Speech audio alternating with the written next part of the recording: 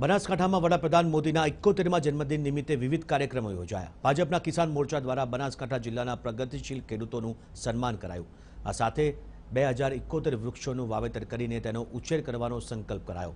ભાજપ દ્વારા પ્રગતિશીલ ખેડૂતોના સન્માનની સાથે એશિયાની સૌથી મોટી બનાસ ડેરીમાં કામ કરતી મહિલા કર્મીઓને સન્માનિત કરાઈ તો વળી સરહદ પર દેશની રક્ષા કરતા જવાનોના ખેડૂત પિતાને પણ પ્રમાણપત્ર આપીને સન્માન કરાયું આ પ્રસંગે જિલ્લા ભાજપના મંત્રી કનુભાઈ વ્યાસે પાંચસોથી વધુ લોકોને અંગદાન અંગે રજીસ્ટ્રેશન કરાવ્યું હતું